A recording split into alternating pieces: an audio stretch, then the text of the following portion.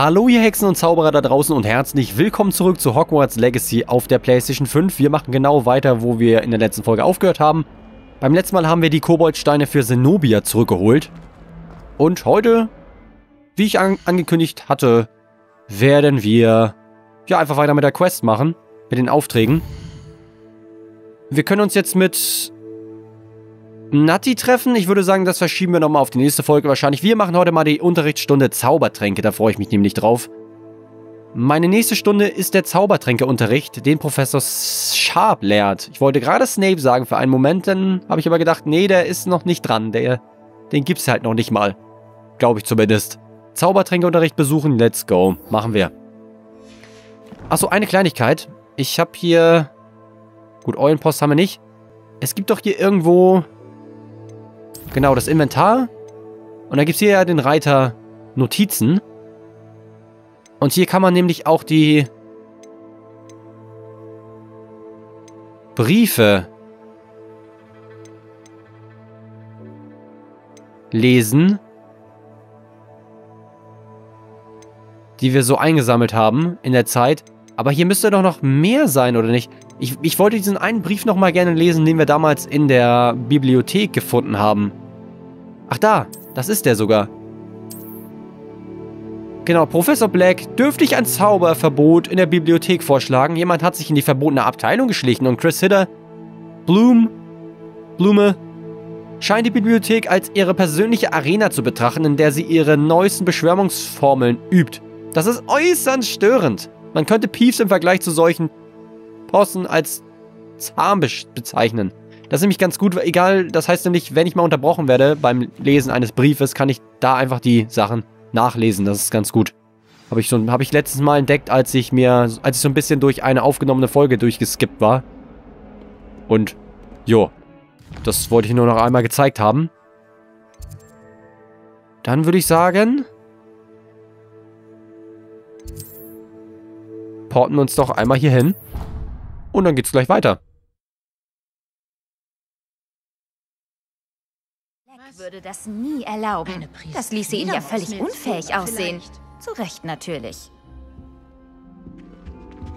Hallo? So, ich bin echt gespannt. Zauberkunst. Zaubertränke. Wie, wie wird das hier dargestellt? Müssen wir wieder irgendwas mischen wie in Teil 6? Harry Potter Teil 6? Oder wie wird es sein? Ich bin gespannt. Let's go.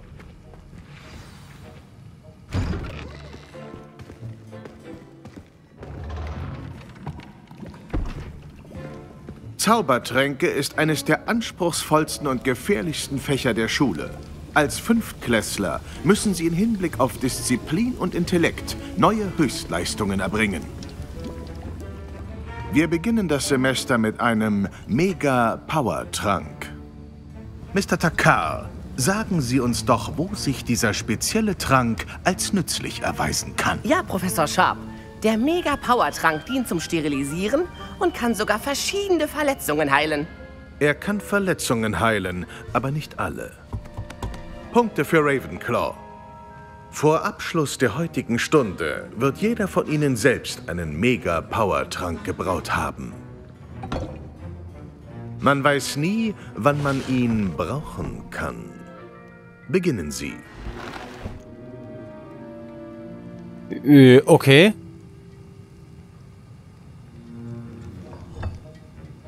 Zerkleinern Sie die Zutaten mit gleichmäßigen Bewegungen. Vorsicht, wenn Sie den Tränken Pulver hinzufügen. Ein Niesen könnte katastrophal sein.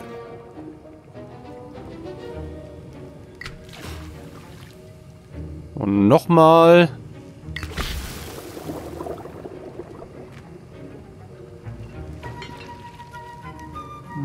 Jetzt nochmal ein bisschen rühren. Das kenne ich echt aus Teil 6, ne? Aus dem Halbblutprinzen-Teil. Ah, da bin ich geübt drin. Professor Sharp.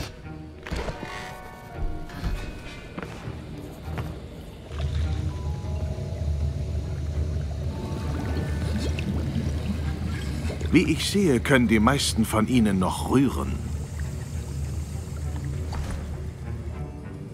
Hm, kein einfach zu brauender Trank. Gut gemacht. Und angesichts ihrer jüngsten Heldentaten in Hogsmeade sollten sie wohl auch die Herstellung des schützenden Edurus-Tranks üben. Professor Weasley hat sie doch wegen des Rezepts zu J. Pippins geschickt. Ja, Sir. Gut. Fürs Erste finden Sie alle Zutaten in meinem Büro. Aber in Zukunft werden Sie Ihre eigenen Zutaten besorgen müssen. Einige erhalten Sie von den Pflanzen, die Sie in Kräuterkunde anbauen. Seltenere können Sie kaufen. Andere hingegen sind womöglich schwieriger zu bekommen und erfordern etwas mehr Einfallsreichtum. Kommen Sie her, wenn Ihr Trank fertig ist. Dann sehen wir, ob es beim ersten Mal Können oder Glück war. Diese Lehrer hier, aktuell in Hogwarts, die haben alle so einen Hang zum Verbotenen irgendwie. Pro Professor Heckert hat uns geraten zum, zum, zum hier, zu den gekreuzten Stäben zu gehen. Er sagt jetzt hier, ja, da muss man sich irgendwie, irgendwie kommt man schon an die Zutaten ran, man muss es nur wollen so. Ist schon irgendwie so ein bisschen, hallo Natti, kann ich mit dir reden? Nö. Aber hä, bist du wirklich Natti? Weil du bist ja eigentlich in, äh, auch woanders. Also, wir sollen sie doch treffen in... Wo sollten wir sie nochmal treffen? Es gibt doch diese eine Quest von ihr. Wo, wo, wie kann sie denn jetzt hier sein, wenn sie eigentlich da auf uns wartet? Das ist diese, diese, genau. Wir sollen sie in Lower Hogsfield treffen. Das ist wieder diese Rollenspiel, diese RPG-Logik. Naja.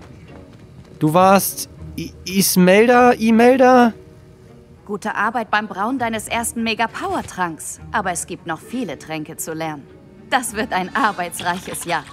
Ja, definitiv. Samantha. Okay, dann war Ismelda war die eine, die wir damals getroffen haben, die den Jungs Tipps beim Schachspielen gegeben hat und die so gut fliegen können soll, was ich aber noch nie gesehen habe. Aber sie hat es ja von sich selbst behauptet. Mein Mega-Power-Trank ist Müll. Ich wünschte, ich könnte einfach einen von J. Pippins nehmen. Hm. Ja, Gaunt, das hatten wir ja schon mal. Das ist ja hier vielleicht ein Vorfahre Voldemorts. Das ist Ismelda. Keine Sorge, falls die Zutaten knapp werden. Ich baue meistens einfach an, was ich brauche. Okay, E-Melder, sorry. Wer bist du? Professor Sharp hat in seiner Zeit als Auror sicher viel gelernt. Wenn er doch mehr davon reden würde. Ja, das ist er bestimmt ganz schön scharf geworden in seiner Zeit dort. Das ist wahrscheinlich richtig, ja. Sonst noch irgendjemand, der mit mir plaudern? Du willst doch mit mir plaudern. Hi. Professor Sharp sagt, der Mega-Power-Trank heilt Wunden. Hoffentlich brauche ich ihn nie. Hm. Professor Sharp. Kompetenz und Tränke sind zwei Dinge, die Zeit brauchen. Seien Sie geduldig und gründlich. Yes. Professor, was sollte ich nochmal tun? Sie müssten längst die Zutaten aus meinem Büro geholt und mit dem Brauen am Kessel begonnen haben. Brauen Sie den Trank und kommen Sie dann wieder. Das wollte ich gar nicht.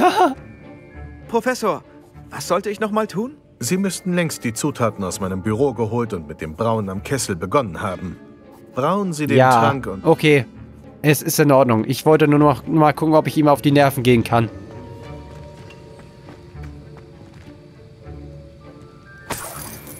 Oh. Oh, sorry. Es ist... Ich bin aber auch... Ein Trampeltier. Es ist nicht... Hat Professor Sharp gesagt, du hättest die Erlaubnis, sein Büro zu betreten? Richtig gehört. Warum willst du das wissen? Ja, aber warum interessiert dich das? Genial! Und es ist wichtig, weil du zu etwas wahrhaft Kreativem beiträgst. Ich bin übrigens Gareth. Gareth Weasley. Ich habe ein Händchen für Tränke, wenn ich das so sagen darf. Schön, dich kennenzulernen. Moment. Bist du mit Professor Weasley verwandt? Sie ist meine Tante. Behält mich etwas zu genau im Auge. Aber sie kann nicht überall sein. Hör mal. Jedes Trollhirn kann einen Idurus-Trank brauen. Ich arbeite an etwas, das auf jeden Fall spektakulär wird. Ich brauche nur eine winzige Zutat, um ihm den letzten Stift zu verleihen. Das ist dann wohl meine Aufgabe. Du bist so schlau, wie er hofft. Ich brauche nur eine Fupa-Feder. Da du ohnehin mit seiner Erlaubnis in Schaps Büro sein wirst, könntest du mir doch eine mitbringen. Hm. Natürlich. Der Prof Professor hat eben selbst gesagt, dass man sich die... Man muss Mittel und Wege finden, um an die Zutaten ranzukommen. Genau das werde ich tun. Ich bring dir die Fupa-Feder. Wenn du sicher bist, dass Sharp sie nicht vermisst. Das wird er garantiert nicht. Fupa-Federn sind nicht so wertvoll. Warte, bis du siehst, was ich braue. Komm schnell zu mir, wenn du die Feder hast. Noch ein Weasley also. Also ist das so ein bisschen jetzt unser, unser Ron Weasley hier quasi. Der Gareth. Denken Sie daran, beim Brauen von Tränken muss man exakt sein. Ja, und dann beim Stibitzen von Zutaten ebenso. Ich schnapp mir einfach alles, was ich hier kriegen kann. Mal die Truhe nochmal aufmachen. Was ist denn hier für ein Brief? Memorandum. Datum 31. Dezember 1875. Von dem Auror-Büro. Betreff Borgen Burks. Bei Borgen Burks kommt es vermehrt zu Aktivitäten außerhalb der normalen Geschäftszeiten, insbesondere in den frühen Nachtstunden, bei denen verdächtige Lieferungen zum Hintereingang des Ladens gebracht werden. In Anbetracht dessen, was wir über den Ruf des Ladens wissen, setzen wir weitere Auroren ein, zusätzlich zu denen, die den Laden bereits beobachten. Sie gehören zu den Neuzugängen. Weitere Anweisungen folgen. Ich frage mich, ob man diese ganzen Notizen und Briefe auch sammeln kann, ob die auch wichtig sind für die 100%. Ich glaube aber nicht. Straßenköterfell. Uh, ja, toll. Da ist ja die Feder. Guck mal, da ist doch noch eine andere drin. Also zwei andere sogar. Wenn das diese überhaupt sind. Vielleicht kriegen wir auch gleich Ärger, aber ich will diese Zusatzquest erfüllen. Bringen, ja, kehre sie, genau. Ich sollte meinen Trank fertig brauen und Gareth die Feder bringen. Ich glaube, ich bringe ihm erstmal die Feder und dann fange ich an zu brauen. Wenn das geht. Sie Ihre Tränkestationen organisiert und ordentlich. Hey, ich hab, ich hab sie. Ich hab die Feder. Hier ist die Fupa-Feder für dich. Großartig, danke. Das Brauen wird eine Weile dauern. Du solltest weiter an deinem Edurus-Trank brauen. Ich sage dir Bescheid, wenn das hier fertig ist. Okay, der Edurus-Trank. Wir machen uns Sie mal... den Diptam schneiden oder zerquetschen. Die falsche Antwort könnte leider zum Verlust Ihrer Augenbrauen führen. Okay, mir äh, ist jetzt egal. Wir wollen jetzt mal anfangen. So geht das. Also braue Tränke nach freigeschalteten Rezepten an der Tränkestation. Rezepte und Zutaten können in ausgewählten Läden gekauft werden. Die Zutaten können auch in der Wildnis angebaut und gefunden werden. Da ist ein Mega Power Trank und da ist der e Edurus Trank. Ein Zaubertrank, der die Verteidigung des Trinkenden erhöht, indem er mit dauerhafter Steinhaut bedeckt wird. Oh, den gibt's ja auch noch. Eine Minute 30 Sekunden. Okay, let's go.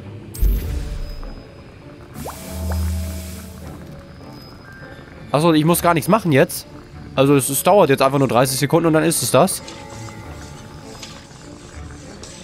Das finde ich eigentlich ziemlich entspannt, muss ich sagen. Also nach Teil 6 brauche ich gar nicht dieses Rumrühren und Mischen und Zutaten hinzugeben und so. Das brauche ich eigentlich gar nicht. Also ich bin, ich bin froh, dass man das hier gerade nicht machen muss.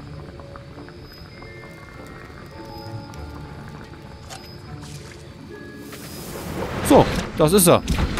Easy. Hab ihn. Und jetzt das Alvenkraut und... Seltsam. Was ist da los? Moment, so war das denn? Ah! Gareth! Und da!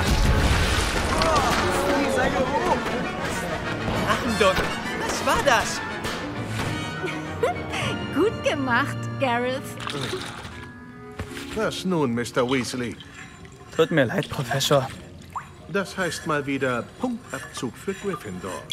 Mr. Weasley war das nicht allein. Wer ihm geholfen hat, muss sich ebenfalls dafür verantworten. Oh, was wollen Sie denn machen? Wollen Sie mich der Schule verweisen? Irgendwas, ja. Hätte nicht erwartet, dass mir das buchstäblich um die Ohren fliegt. War trotzdem genial. Ich räume das mal auf. Brau du lieber deinen Zaubertrank fertig. Ja, okay. Let's go. Hab ich doch schon. Oh, jetzt habe ich aber Angst. Oh je. Ich habe den Edurus-Trank wie gewünscht gebraut, Professor. Dass Sie dazu Zeit hatten. Sie schienen schwer beschäftigt damit, Mr. Weasley zu helfen. Das tut mir leid. Pff, ganz im Ernst, nö. Ich bin nicht sicher, was Sie meinen, Professor. Wer keine Verantwortung für seine Taten übernehmen will, kommt bei mir nicht weit. Nehmen Sie sich diese Warnung zu Herzen.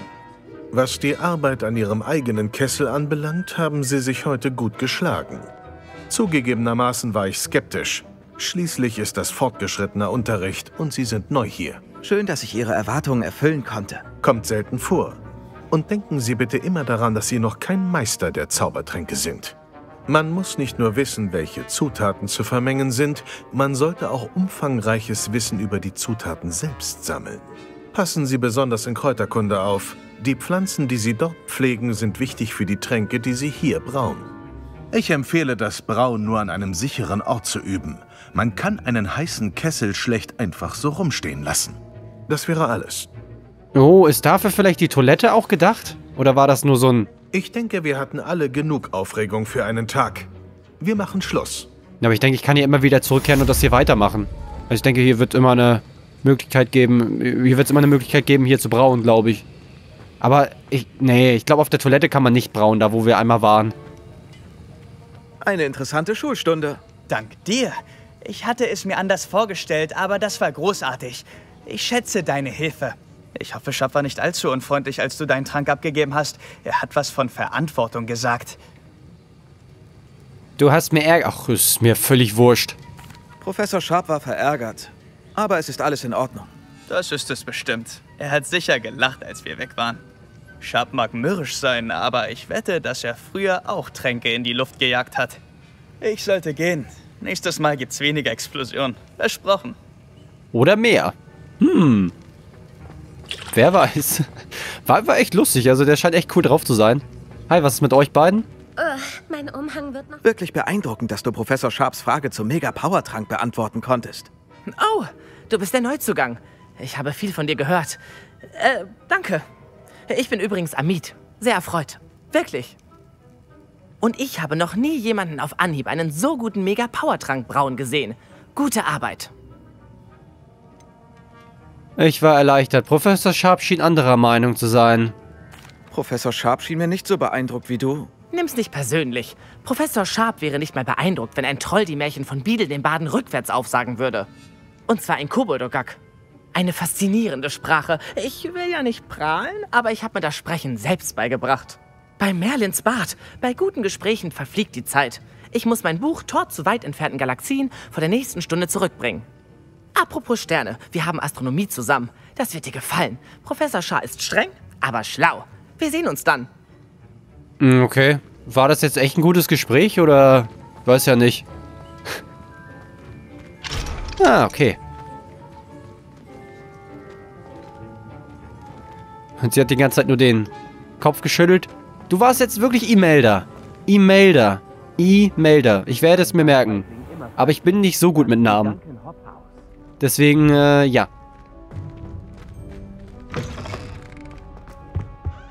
Das nächste Mal schreibe ich meine Zaubertrankideen lieber direkt auf.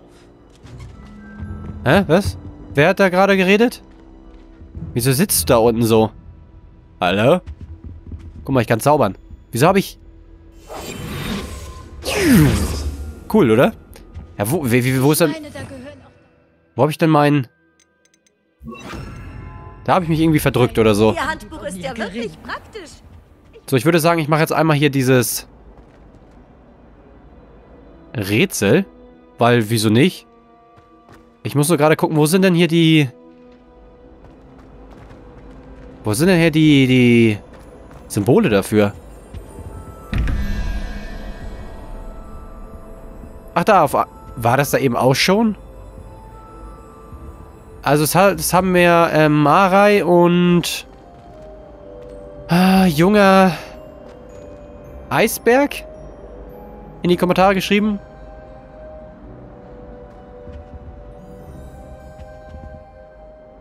Und ihr habt mir auf jeden Fall jetzt geholfen, indem ich jetzt weiß, was ich hier tun muss. Ich frage mich jetzt nur, wo das andere Fragezeichen ist. Also das eine Fragezeichen ist ja hier, das ist für das obere. Und das andere ist irgendwo hier. Aber ich muss ja erstmal wissen, wo das überhaupt ist, weil sonst brauche ich ja gar nicht gucken. Da, okay, da oben. Ich hab's. Okay, dann kriegen wir das hin. So. Es soll jetzt folgendermaßen sein. Hier unten ist das unterste Symbol ist eine 0 und rechts ist die 9. 1, 2, also 0, 1, 2, 3, 4, 5. Also. Äh, wie kann ich nochmal manuell ziehen? So. 0, 1, 2, 3, 4, 5, 6, 7, 8, 9. Bedeutet also, das Symbol ist wie viel wert? ist... Jetzt muss ich erstmal gucken, was es überhaupt ist. Hier, eine 2. Das heißt, 13, also 8. Das muss eine 8 sein. Also ist das Symbol 0, 1, 2, 3, 4, 5, 6, 7, 8. Also eine Spinne.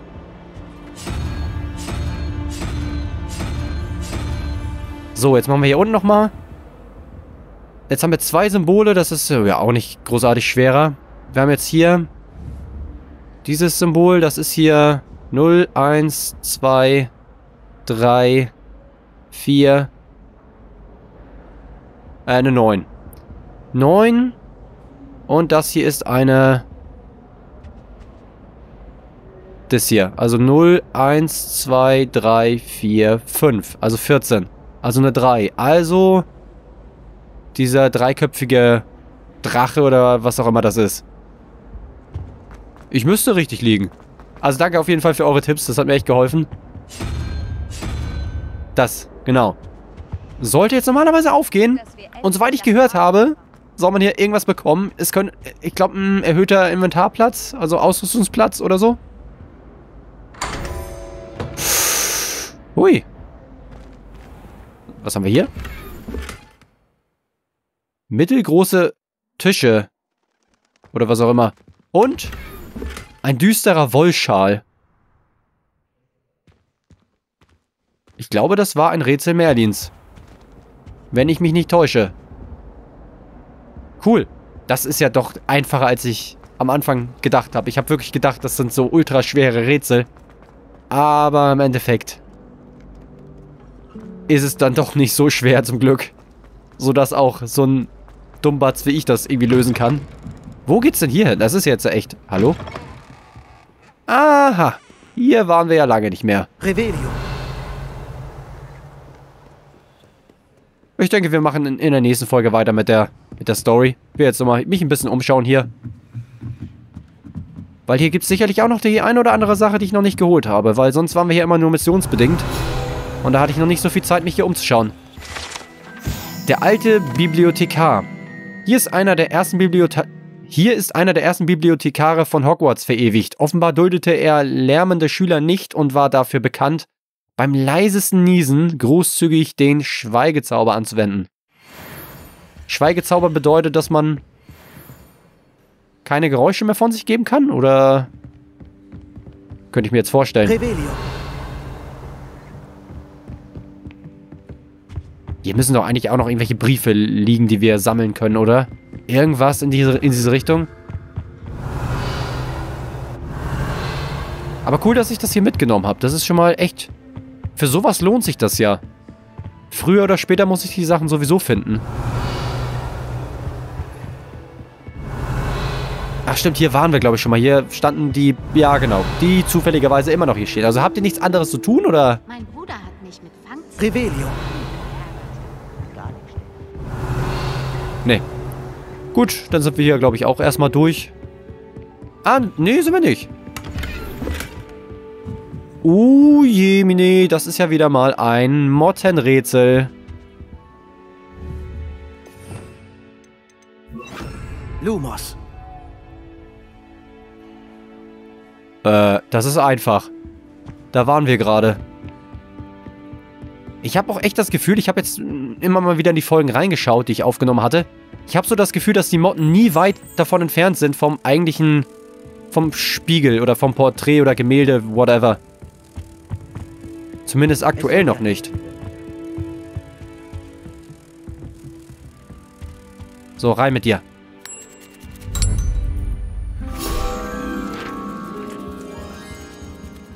Und der rechts ist ein bisschen eska äh, am Eskalieren auf seiner Trommel.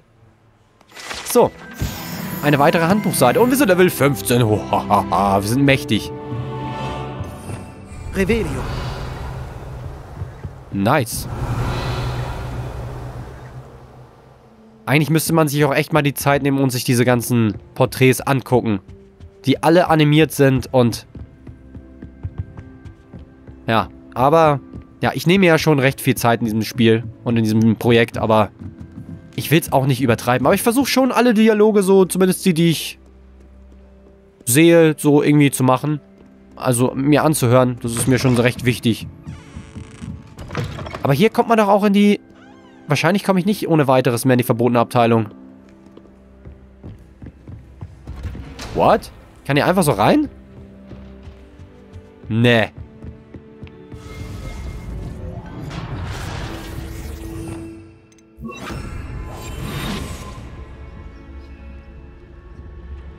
Wahrscheinlich geht das nicht so ohne weiteres.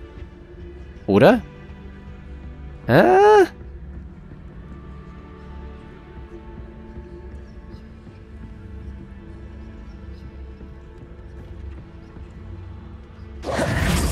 Okay, das geht.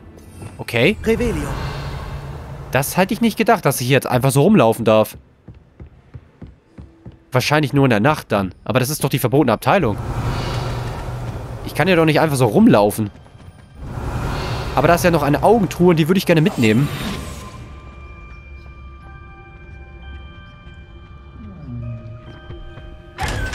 Danke. Aber es, ich meine, es sind 500 Galeonen da drin. Ich meine, da kann man sich auch mal drüber freuen. Hier ist auch noch so eine... Das kommt ja dann irgendwann später. Hier waren wir ja mit Sebastian noch und dann hat er uns verlassen wegen Peeves.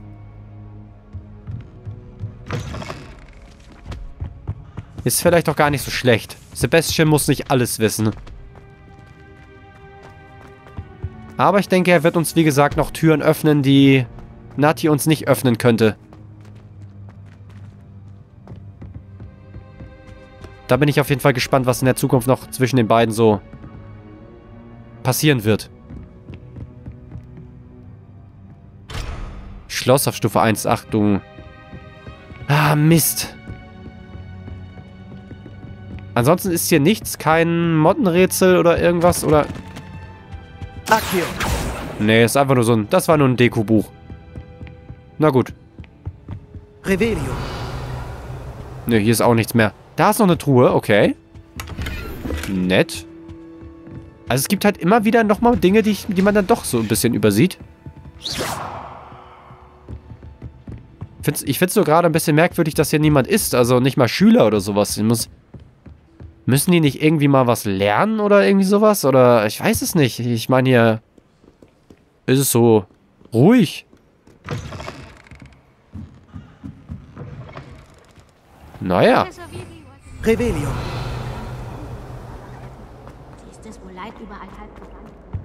Äh, ist das jetzt schon wieder? Aber das, das habe ich eben schon gemacht. Ach, die sind dann wieder zurück.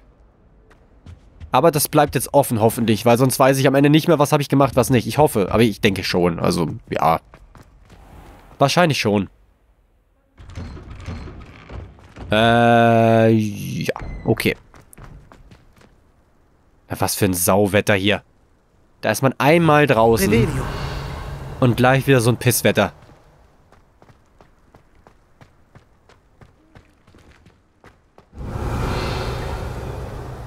Ja gut, dann würde ich sagen, beim nächsten Mal machen wir weiter mit der Story. Da vorne ist noch eine Miezekatze, die kann man natürlich auch nochmal streicheln. Na, komm mal her, mein Lieber. Oder meine Liebe. Ist das Schnee oder ist sie gerade irgendwie... Ich kann es gerade... Nee, es ist Regen. Ja. Ja. 50 von 150 Handbuchseiten aktuell. Dass das immer noch so viele sind. Ich habe doch schon so viele gesammelt. So unfassbar viele. Zur Ausrüstung. Da ist nichts Neues. Auch nicht. Auch nicht. Hier muss irgendwas Neues sein. Da. Oh, die hat mehr Verteidigung. Ja, dann nehme ich die Holzbrille. Ja, toll. So laufe ich ab sofort rum, Leute. Gewöhnt euch dran. uh. Wie gesagt, hier ist ich und meine Maske, aber ich möchte gerade keine tragen. Uh. Düsterer Wolsch. Das ist doch der aus dem Rätsel. Oder was? Dieser Schal.